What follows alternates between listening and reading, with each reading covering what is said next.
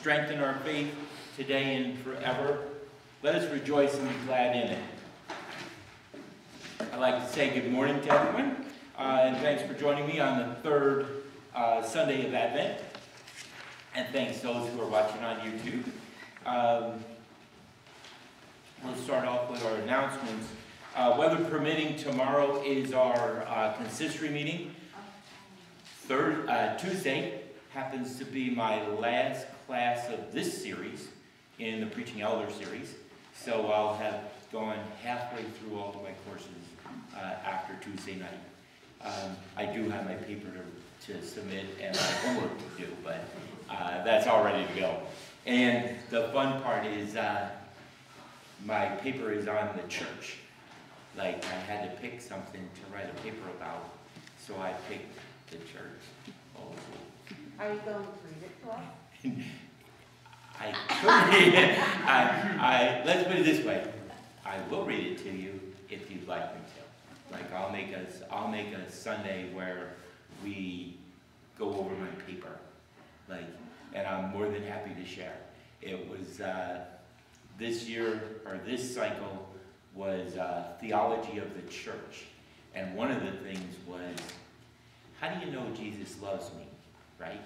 And it started out with that little kid song, Jesus loves me, this I know, for the Bible tells me so, right?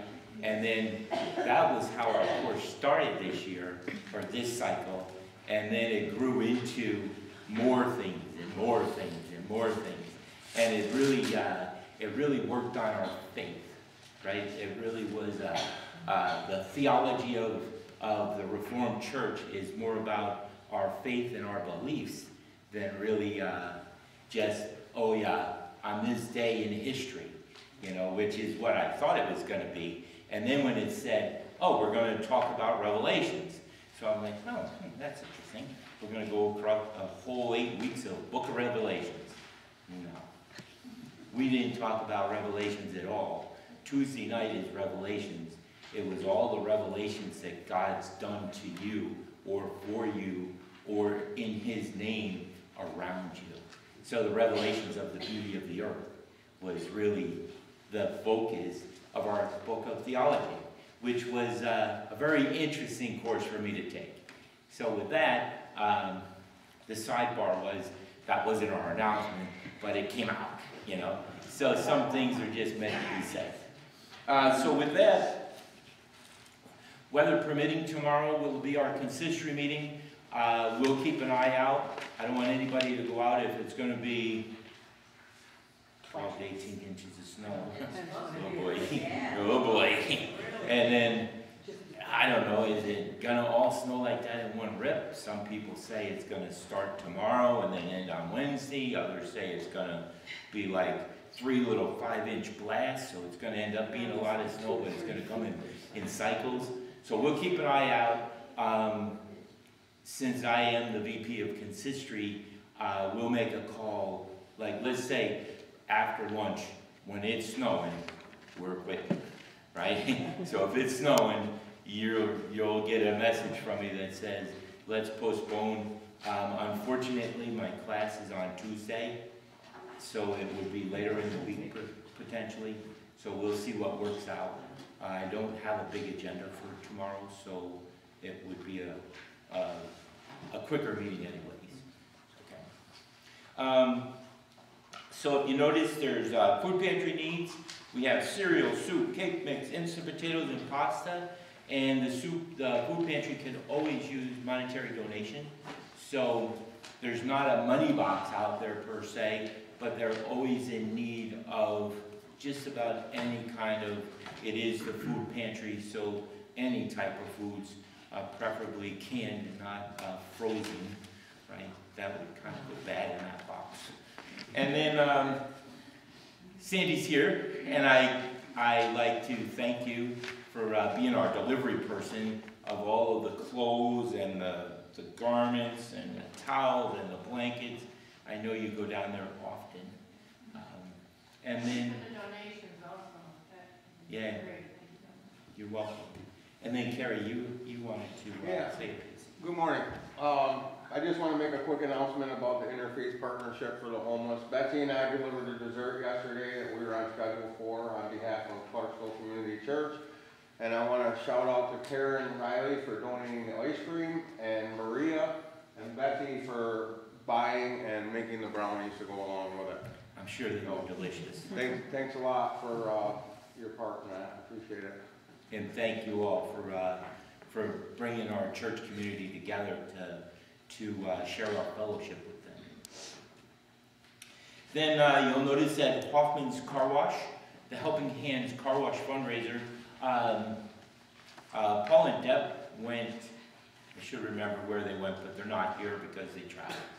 And, For the grandchild's sixth birthday. oh, there you go. Louisiana? I don't know, they went somewhere. So, uh, the fourteenth, which is, uh, Tuesday, is the last night or the last day for the car wash helping hand cycle. Um, it has been a good fundraiser for us, so, uh, if you do wanna buy, it, we still have, uh, two more days to tag Clarksville Community Church, and then half of the car wash goes back to the church. Then we have, uh, cookie exchange coming up uh, March 25th, 2 o'clock. Um, And then Diane said we needed to bring three dozen cookies to exchange, have them labeled and in little bags so that we can just go down the table and pick the cookies we want.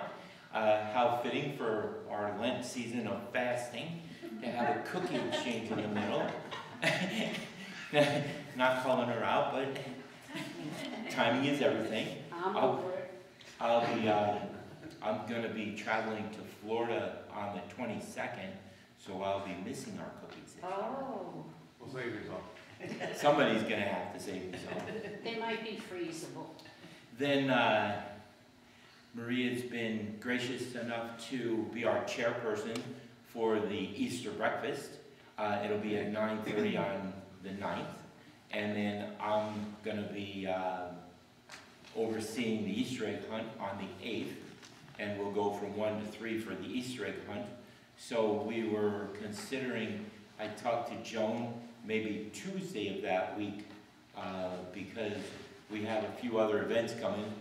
We have, uh, there's a Wednesday service, a Thursday service, and a Friday service, all in that week, week leading up to Easter.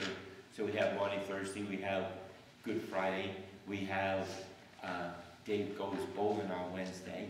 Oh. So there's an event on Wednesday also. So, so maybe Tuesday night, we'll, we'll get together Tuesday afternoon, Tuesday night, and we'll stuff uh, Easter eggs so that our Easter egg hunt will be a success. They'll have something in them. Uh, There's a form out there, you gotta change the date. Perfect. Uh, And Maria has put um, in the narthex, there's sign-up sheets and, and donation sheets, so that if you would like to uh, donate Easter candy or eggs for the eggs, toast for the French toast, sausage for the sausage, and desserts for our fellowship of Easter breakfast, it's all down there. So uh, just know it's down there in the narthex and take a look. Then we have, um, we have a flower donation sheet at where you, where the bulletins were and Joan was sitting, there's a page there for flowers and donations for Easter. So if you are considering donating flowers or having flowers on display Easter Sunday in memory of, um, please put your name so we can record it in the bulletin. And then we have, let's see, we're down to Lent service. There's a Lent Saturday worship service. And Wally, I'm sorry, I didn't ask about giving your uh, phone number to Richard Vanderbilt, but I passed your phone number along to Richard. So, Anybody can have mine. so I should have, I should have asked first it though. front on a neon sign. Yeah. So September, or uh, sorry, April 1st at 10 a.m., uh, Onesquethaw Reformed Church is going to do a Saturday uh, worship service, which is, there's not going to be a breakfast, but there is going to be uh, celebrating the gift of God's music. And during the Lenten season, it'll be just a time of fellowship and praise. Um, we also have the Yankee Trails, and that is going from the Strasburg Rail uh, with a lunch, a train ride, a trip to Hershey Farms, um, an optional show of Moses, and then that information is all in your bulletin, so I'm not going to read through the whole thing. Uh, there's a Maundy Thursday worship committee meeting next Saturday at 10 o'clock at the Unionville Church. So if you'd like to um, be a part of the worship for Maundy Thursday at Unionville, the meeting is Saturday coming up. And then last but not least, from my side of the announcements, um, we still have the spring cleanup sheet down in the narthex for uh, people to pick an area of the church to uh, tidy up a little bit. Um, our Cheryl, who generally vacuums and cleans, uh, was not feeling well this week, so um, she came in this morning and just tidied up a little bit and left because she's uh, not in the best. You know, she's got a headache, she's got, she's got, I, who knows if it's seasonal or if there's something coming. So with that, are there any other announcements? Dave, I want to apologize, I missed the sheet printing copy, the bulletin, so the information about the train trip wasn't in the printed copy, Oh, so it'll be there next week. all right, thank you. I missed the whole page. And I didn't get it. Notice? Any other announcements? And then are there any joys? Do we have any joys of celebration? No. And then, uh, so let us, sorry, man. So then let's turn to our prayer concerns. Um, please keep the family of Dorothy Pillsbury Roman in our prayers.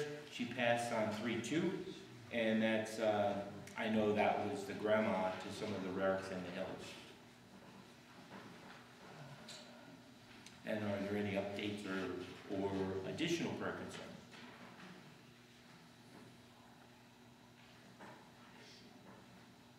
Seeing none, so let us begin with worship. Dear Lord, with your infinite, with your infinite love and goodness, you've shown us that prayer, fasting, and almsgiving are remedies for sin. Accept our humble admission of guilt, and when we consciously weigh, when it consciously weighs us down, let your unfailing love raise us up. We ask this in our prayers, and we praise you. In Jesus' name, amen. Now, please join me with our responsive call to worship found in your bulletin.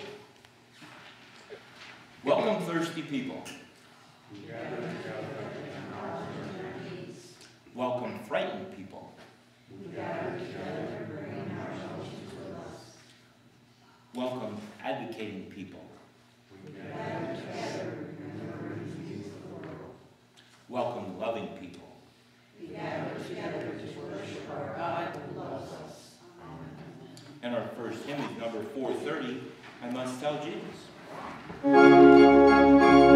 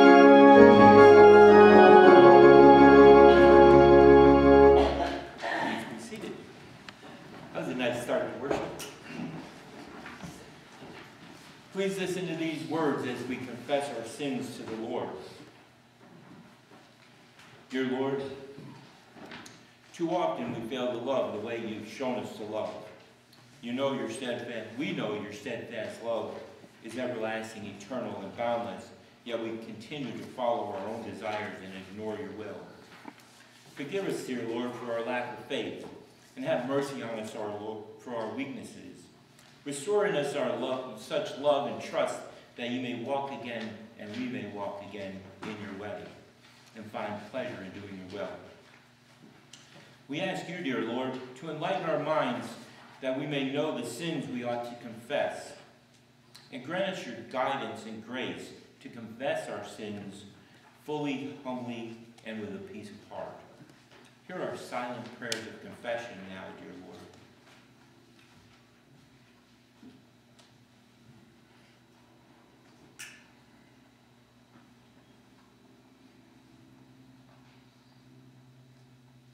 Remember, the prayers of a righteous person are powerful and effective. Now let us come before God and confess our sins as is printed in our bulletin. Dear Lord, we confess that we have elevated the things of this world above you. We made idols and possessions of people and used your name for causes that are not consistent with you or your purposes. We too often have permitted our schedules to come first have not set aside time to pray or to worship you. We have not always honored you as you guided us through our lives, and sometimes, Lord, we have yearned for and sometimes taken those things that are not ours. We have misrepresented others' intentions by turning our backs when we should have been helping. Forgive us, God, for the many ways we fall short of your glory. Help us to learn to live together according to your ways through Jesus Christ our Lord. Amen. And now, hear these words of assurance. Jesus said to his disciples, Do not think that I have come to abolish the law or the prophets. I have come not to abolish, but to fulfill. Amen, I say to you, until heaven and earth pass away, not the smallest letter or the smallest part of a letter will pass from that law until all things have taken place. Therefore, whoever breaks one of these least of the less commandments and teaches others to do so will be called least to the kingdom of heaven. But whoever obeys and teaches the commandments will be called greatest in the kingdom of heaven. And now, hear the summary of the law. When Jesus was asked about the greatest commandment in the law, he did not reply by listing the Ten Commandments. Instead, the Lord said, You shall love your Lord your God with all your heart, with all your soul, and with all your mind. This is the first and the greatest commandment. And the second is like it. You shall love your neighbor as yourself. And on these two commandments depend all the law and the prophet. Amen.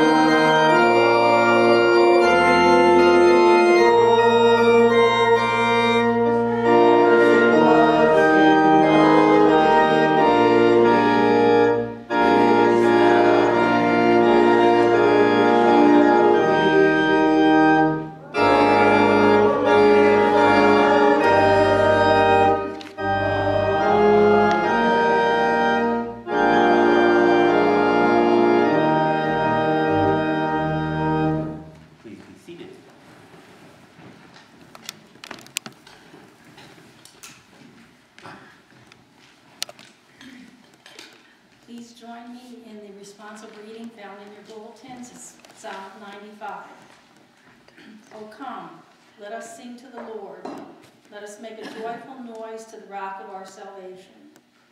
Let us come into the presence of your thanksgiving. Let us make a joyful noise to him who longs for grace. For the Lord is a great God and a great King above all gods. In his hands are the depths of the earth, the heights of the mountains are his also. The sea is his, for he made it, and the dry land which his hands have formed. O come,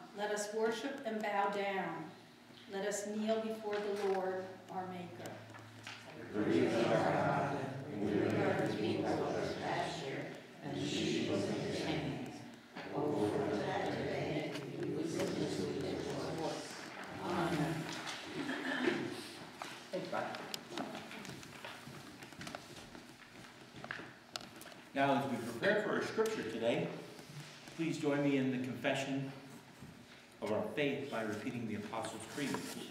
By vote. I believe in God the Father Almighty, creator of heaven and earth. I believe in Jesus Christ, his Son, our Lord, who was conceived by the Holy Spirit, born of the Virgin Mary.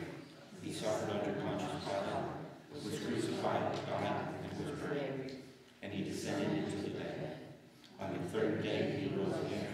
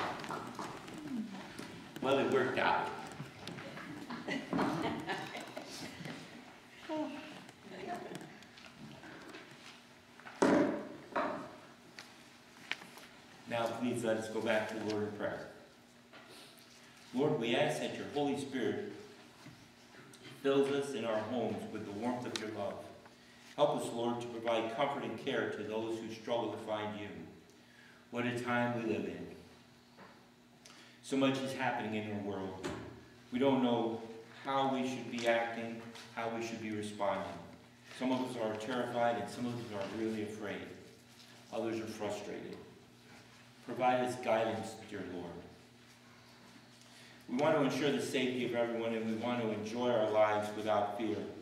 We're concerned for those who are extra vulnerable, those who are ill. We're concerned for those who are grieving, for those who are anxious, for those who live in poverty, those who are lonely. And we are also concerned for those who live without knowing you, dear Lord. Please, Lord, We ask that you provide them with the comfort and guidance that you provide us. Open all of our eyes so we may see your glory and the grace of your God, our God. Please, Lord, be with those on our prayer list. Provide answers for those who have unanswered questions. Provide wisdom to those doctors and caregivers which watch over us. Watch over the firefighters, emergency personnel, police, and the military. You've called them to protect and serve, and please, dear Lord, watch over them and protect them. Lord, help us find ways to love our, love all of your people. And by doing so, help us find ways to expand your love to the world. Provide guidance to us, dear Lord, and keep us safe in all that we do. And now, as we lift our prayers and praises to you, dear Lord, let us pray together, repeating the Lord's Prayer as you've taught us to pray. Our Father, art in heaven, hallowed be thy name. Thy kingdom come, thy will be done, on earth as it is in heaven.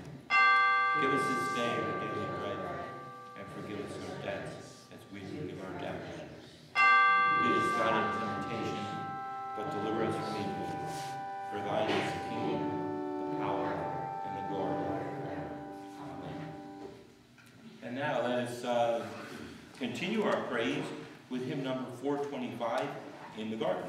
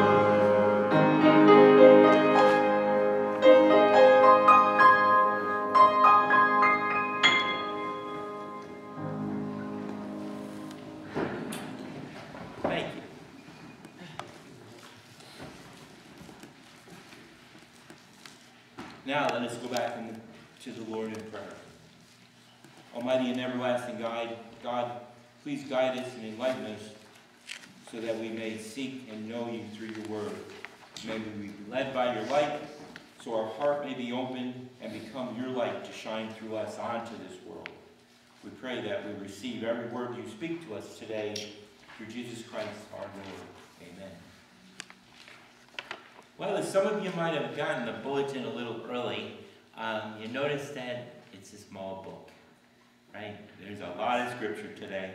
Um, you'll hear from the Gospel of John, uh, chapter 4, verses 5 through 42.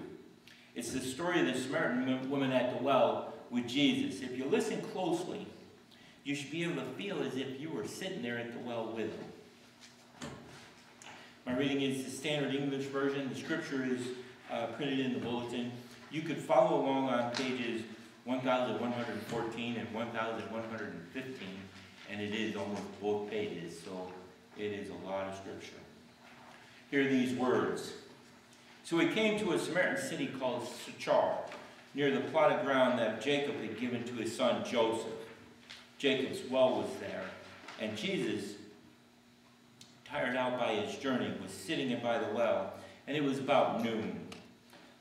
A Samaritan woman came to draw water, and Jesus said to her, Give me a drink. His disciples had gone to the city to find food or buy food. The Samaritan woman said to him, How is it that you, a Jew, ask me to drink, ask a drink of me, a woman of Samaria? Jews did not have anything in common with the Samaritans and did not share with them. Jesus answered her, If you knew the gift of God and who it is that is saying to you, Give me a drink, you would have asked him, and he would have given you living water. The woman said to him, Sir, you have no bucket. The well is deep. Where do you get this living water? Are you greater than those, those ancestors of Jacob who gave us the well, and his sons and his flocks drank from it? Jesus said to her, Everyone who drinks of this water will be thirsty again, but those who drink of the water that I will give them will never be thirsty. The water that I will give will become to them a spring of water gushing up to eternal life. The woman said to him, Sir, give me this water, for that I may never be thirsty or have to keep coming here to draw water. Jesus then said to her, Go, call your husband and come back. The woman then answered him, I have no husband. Then Jesus said to her, You're right in saying that. I have no husband, for you have five husbands, and one you have now is not your husband. What you have said is true. The woman said to him, Sir, I see you are a prophet. Our ancestors worshipped on this mountain, but you say that the place where people must worship is in Jerusalem. Jesus then said to her, Woman, believe me, the hour is coming when you will worship the Father, neither on this mountain nor in Jerusalem. You worship what you do not know. We worship what we know, for salvation is from the Jews. But the hour is coming, and it is now here, when the true worshipers will call worship of the Father in spirit and truth, for the Father seeks just as these to worship him. God in spirit, and those who worship him must worship in spirit and in truth. The woman then said to him, I know the Messiah is coming, who is called Christ. When he comes, he will proclaim all things to us. Jesus said to her, I am he, the one who is speaking to you. Just then his disciples came back. They were astonished to see that he was speaking to this woman, but no one said, What do you want? or Why are you speaking with her? When the woman left her water jar and went back to the city, she said to the people, Come and see this man who told me everything I've ever done. He cannot be the Messiah, can he? They left the city where they were and went on their way to him. Meanwhile, the disciples urged him, Rabbi, eat something. But he said to them, I have food to eat, but that you do not know about. So the disciples said to one another, Surely no one has brought him something to eat. Jesus said to them, My food is to do the will of him who sent me and to complete his work. Do you not say, Four months more, then comes the harvest? But I tell you, look around you and see how the fields are ripe for harvesting. The reaper is also receiving wages and a gathering and is gathering fruit for eternal life. And the sower and the reaper may rejoice together. For here the saying holds true one sows and another reaps. I sent you to reap, to reap that for which you did not labor. Others had labored, and you have entered into their labor. Many Samaritans from the city believed him because the woman's testimony, he told me everything I have ever done. So when the Samaritans came to him, they asked him to stay with them, and he stayed there for two days. And many more believers came to listen to his word because of his word. They said to the woman, It is no longer because of what you said that we believe, for we have heard for ourselves, and we know that this is truly the Savior of our world. This is the word of God. God. So I'd like to start with a brief little prayer. Lord, please touch all of our hearts with today's message. Allow us to feel God's love and the power of the Holy Spirit. Amen. So this is the story of a nameless woman at, uh, in a Samaritan woman at a well, recording only, it's recorded only in God, John's Gospel.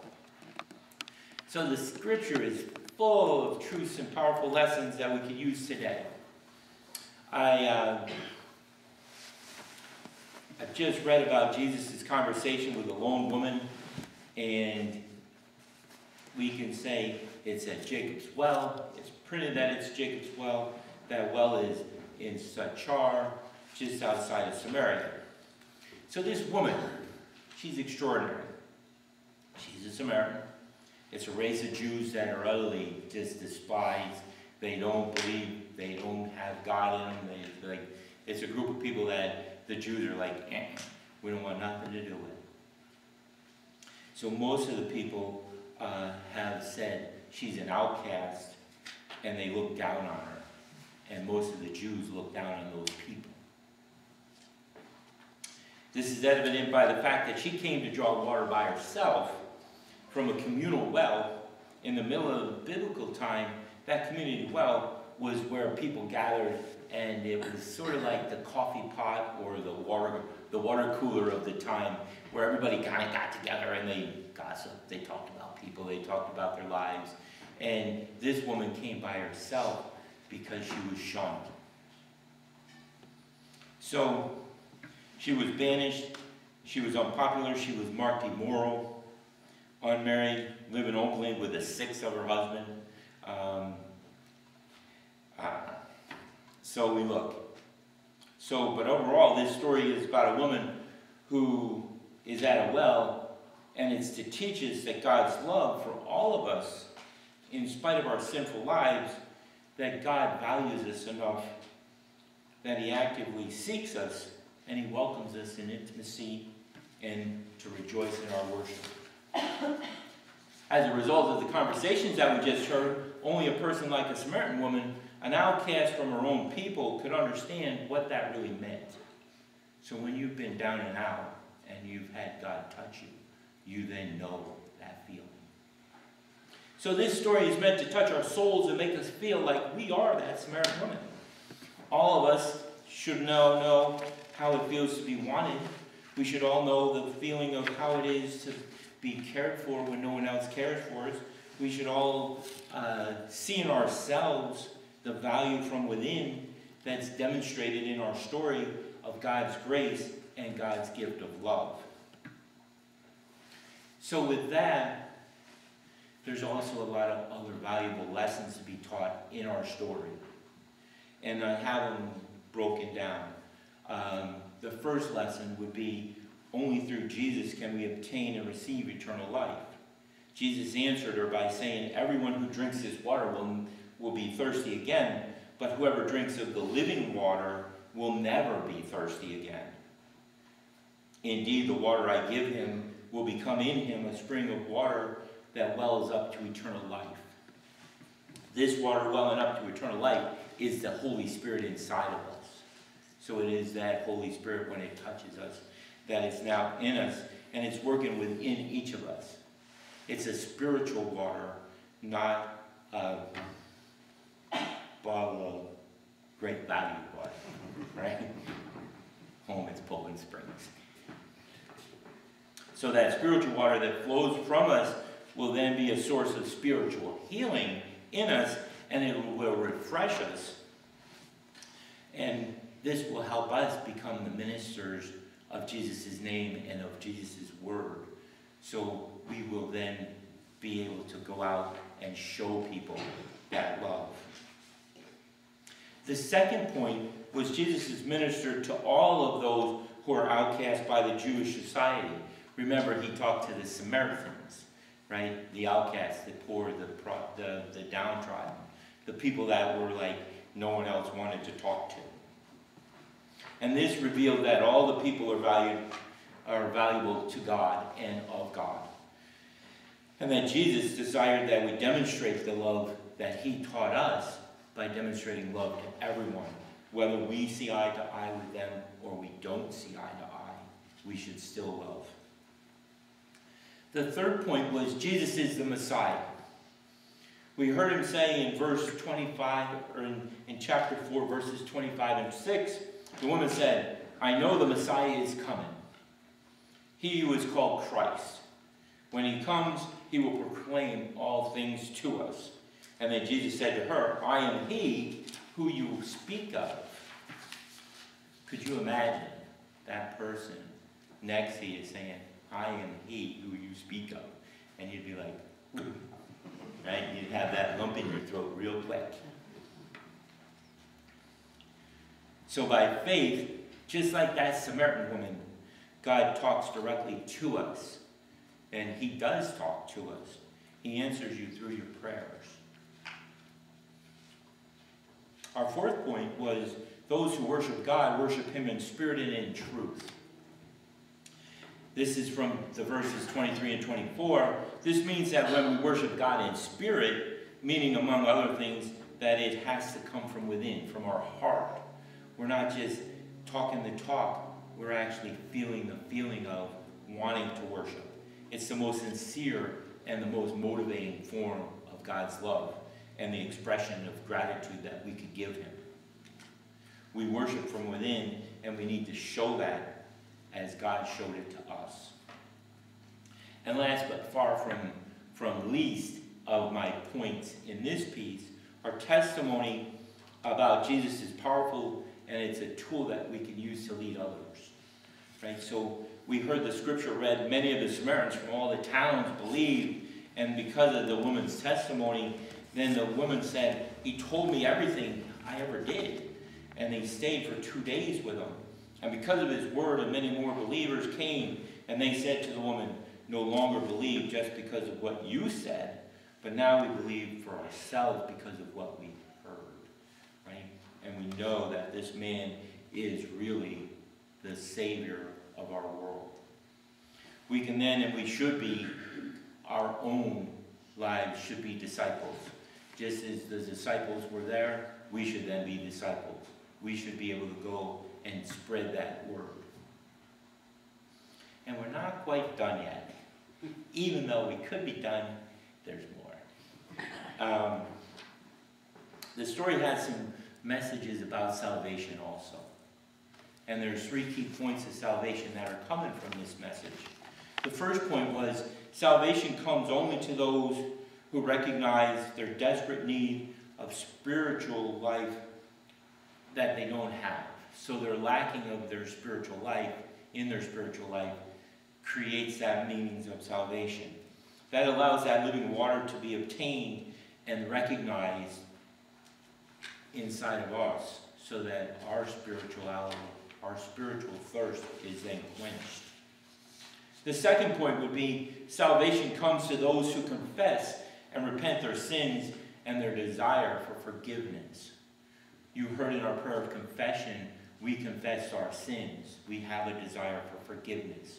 We asked for that earlier. Before this immoral woman could embrace the Savior, she had to concede all of her burdens of sin. And then last but not least, actually in this case, last but and least, right? In closing, salvation came to only to those who took hold of Jesus as their Messiah. For the absolute truth is that salvation is found in no one else but in believing in our God. So in closing, I'd like to offer this brief prayer. Heavenly Father, as we consider the Samaritan at the well who came to Jesus, heard his message, and chose to drink the living water he had offered, it's wonderful to know that no one is excluded from drinking the living water of life and spiritual healing that you offer us. Thank you for the living water you offer us, for which we have, you have freely given to us. It comes without a cost, and because of the living spring within us that wells up to us and gives us eternal life, may we all drink deep from the fountain that you supply to resist temptation so that we can do this with our own strength. This we ask in Jesus' name. Amen.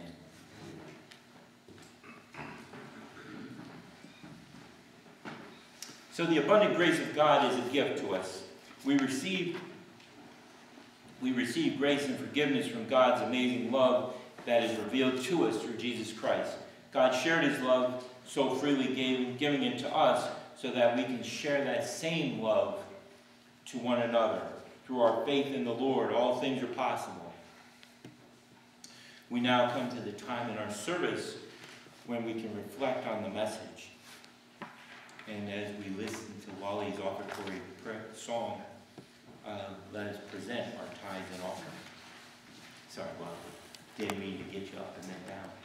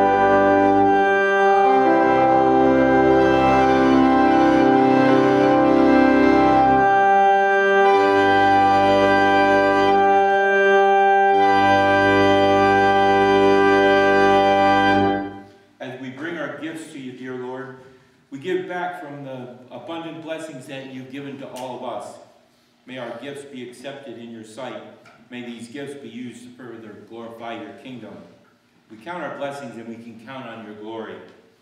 Let your wisdom, honor, power be our strength unto you, God, today and forever, through Jesus Christ our Lord. Amen. Amen. And our final hymn is number 307, Send the Light.